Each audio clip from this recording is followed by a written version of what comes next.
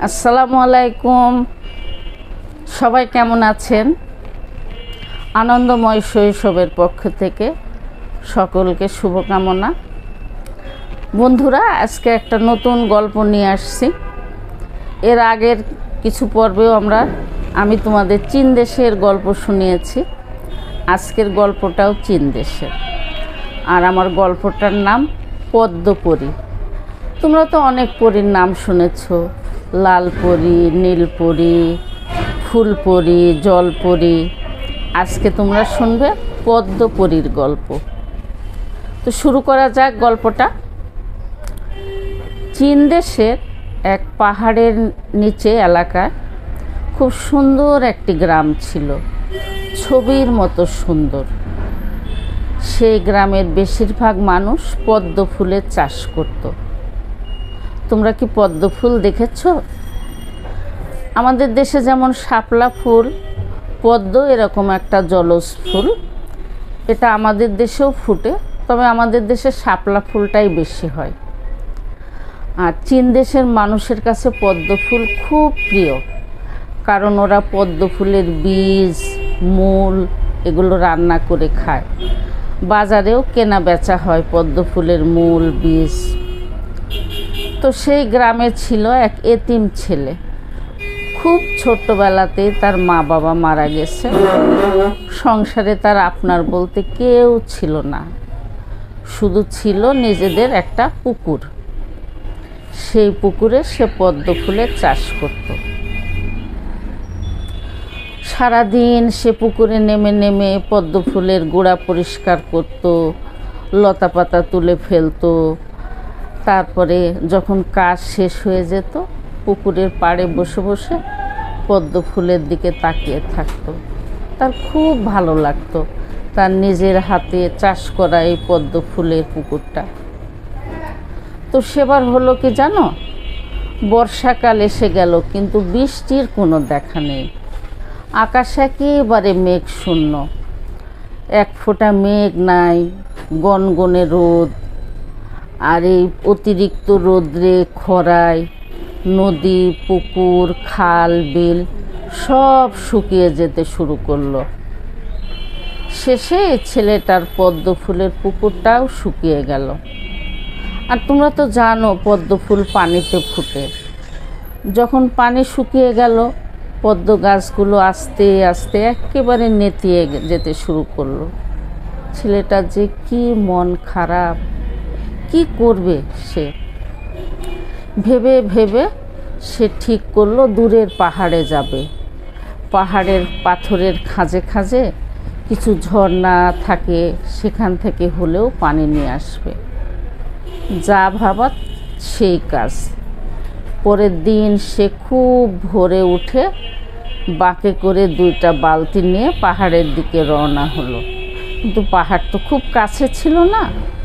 আর পাহাড়টা ছোট্ট ছিল না। অনেক বড় উঁচু পাহাড়, খাড়া আর বড় বড় পাথর। আর আকাশে তো রোদ, শুনেছই তোমরা, খরা চলছিল। সেই প্রচণ্ড রোদে, প্রচণ্ড গরমে খাড়া পাহাড় বেয়ে সে কষ্ট করে করে উঠে অনেক খোঁজাখুঁজির পরে ছোট্ট একটা ঝর্ণা খুঁজে পেল। সেখান থেকে বালতি ভরে পানি নিয়ে সন্ধ্যাবেলা এসে তার পুকুরে ঢেলে দিল। এরকম সে প্রতিদিন করতে শুরু করল। সারাদিনে সে দুই বালতি পানি আনতে পারত। এর চেয়ে বেশি আনা সম্ভব ছিল না। তো এইভাবে পানি এনে দিতে দিতে দিতে প্রায় তিন মাস সে অনর্গল প্রতিদিন দুই বালতি করে পানি ঢালতে লাগল। তাতে পুকুরটায় কিছুটা পানি জমলো আর পদ্ম ফুলের গাছগুলো আবার একটু একটু করে তাজা হতে শুরু করল। তার মন তো বেশ খুশি আর প্রকৃতিও দয়া করল। হঠাৎ করে আকাশে অনেক মেঘ দেখা দিল। অঝোর দ্বারায় বৃষ্টি হতে শুরু করল। পুকুর, মাঠ, ঘাট আবার পানিতে থই থই করতে লাগল।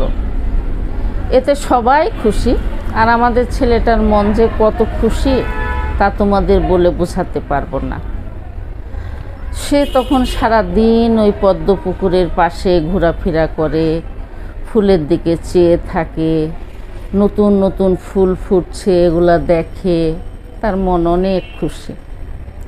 তো একদিন হয়েছে কি, সন্ধ্যাবেলা আকাশে অনেক মেঘ করেছে, এই বৃষ্টি আসলো বলে ছেলেটা বসে বসে বারান্দায় তার ছেঁড়া জামায় তালি লাগাচ্ছিল। সে তো খুব গরিব, তোমরা জেনেছই। তো হঠাৎ করে আকাশের এধার থেকে ওধারে একটা বিজলি চমকে গেল আর সাথে সাথে কড়কড় করে বাস পড়ল। ঠিক সেই মুহূর্তেই সে তাকিয়ে দেখে তার সামনে একটা অপরূপ সুন্দরী মেয়ে। কী যে সুন্দর মেয়ে! তা বলার মতো না। ছেলেটা তো তাকিয়েই আছে। হঠাৎ করে এই মেয়েটা কোথার থেকে আসলো? দেখতে যে পদ্ম ফুলের চেয়েও সুন্দর। আর তার গায়ের যে পোশাক, সেটাও পদ্ম ফুলের মতো রং। আর তার লম্বা চুলগুলো মাটি ছুঁয়ে গেছে। তখন সে বলল, তুমি কে? মেয়েটা হেসে বলল, কেন আমাকে চেনো না? তো ছেলেটা তো ভারী অবাক। না, আমি তো তোমাকে চিনি না। কি যে বলো, প্রতিদিন না তুমি আমাদের পাশে পাশে ঘুরে বেড়াও, কথা বলতে চাও। আমি তো পদ্ম পড়ি তোমার ওই পদ্ম পুকুরে পদ্ম ফুলের পাপড়ির মধ্যে লুকিয়ে থাকি আর তোমাকে দেখি। তুমি যে ফুলগুলাকে আদর করো, চেয়ে চেয়ে দেখো, ফুলের সাথে কথা বলতে চাও আমি সব খেয়াল করি। তাই আজকে তোমার ঘরে আসলাম। তো দুইজনে বেশ অনেকক্ষণ কথা বলার পরে ছেলেটি বলছে, পদ্মপরি, তুমি যখন আমাকে এত পছন্দই করো, তাহলে এসো না, আমরা বিয়ে করি। জানো তো, আমার এই সংসারে কেউ নাই। তখন পদ্মপরি একটু ভেবে বলছে হ্যাঁ তা হতে পারে, কিন্তু একটা শর্ত আছে। বৃষ্টি ছেড়ে গেলে আমি চলে যাব। আর কাল সকালে সূর্য ওঠার পরে তুমি পদ্ম পুকুরে নেমে পদ্মর মধ্যে খুঁজে খুঁজে আমাকে বের করবে। সকাল থেকে সন্ধ্যার মধ্যে যদি বের করতে পারো, তাহলে হয়তো তোমার সাথে আমার বিয়ে হতে পারে। বৃষ্টি ছেড়ে গেল, মেয়েটাও চলে গেল। ছেলেটা তখন ভাবছে, এটা কি সত্যি ছিল? না কল্পনা, না আমি স্বপ্ন দেখলাম। যাই হোক, কাল ভোরবেলা আমি ঠিক পুকুরে নামবো। তোর আগের দিন রাত্রে তো সারা রাত বৃষ্টি হয়েছে, পদ্ম ফুলগুলো যেন হাসছে, আর একটু একটু বাতাস হচ্ছে, ওরা বাতাসে দুলছে। তো ছেলেটি পুকুরে নেমে পদ্ম ফুলের মধ্যে খুঁজছে সেই পদ্ম পদ্মপরীকে কিন্তু কীভাবে খুঁজে পাবে? সব পদ্ম তো একই রকম। একই রকম রং, একই রকম ফুটে আছে, একই রকম সবাই বৃষ্টিতে ভেজা। সারাদিন ধরে সে খুঁজতে খুঁজতে খুঁজতে ক্লান্ত হয়ে গেছে। তখন সে ভাবছে, এটা হয়তো কল্পনা ছিল আমার, কিংবা হয়তো আমি স্বপ্ন দেখেছি। পদ্ম ফুলের মধ্যে পদ্মপুরি লুকিয়ে থাকতে পারে, এটা কি সম্ভব? যাই হোক, সে তবু আবারও খুঁজতে শুরু করেছে। খুঁজতে খুঁজতে হঠাৎ দেখে কি একটা পদ্ম ফুল শুকনা, একেবারে শুকনা। অমনি সে সেটাকে টেনে তুলেছে। তোলার পরে দেখে কি তার হাতে কোনো পদ্ম নাই। সে ওই পদ্মপুরীর হাত ধরে দাঁড়িয়ে আছে। তখন তো সে খুব খুশি, পদ্মপুরীকে তার ঘরে নিয়ে আসছে। দুজনের বিয়েও হয়ে গেছে, পদ্মপরী, কিন্তু তাকে জিজ্ঞাসা করেছে আচ্ছা তুমি আমাকে চিনলে কীভাবে? এত হাজার হাজার পদ্মের মধ্যে থেকে কীভাবে বুঝলে আমি সে? তখন ছেলেটি বলল, কালকে রাত্রে তুমি যখন আমার ঘরে আসছিলে, তখন তো তুমি বৃষ্টিতে ভিজনি, আর অন্য পদ্মগুলা তো পুকুরে ছিল, ওরা ভিজেছিল যখনই আমি দেখলাম যে একটি পদ্মই শুকনা, তখনই আমি বুঝতে পেরেছি এটি তুমি। তো তাদের বিয়ে শাদী হয়ে গেল। তারা দুজনে মিলে আবার পদ্ম ফুলের যত্ন নিতে শুরু করল।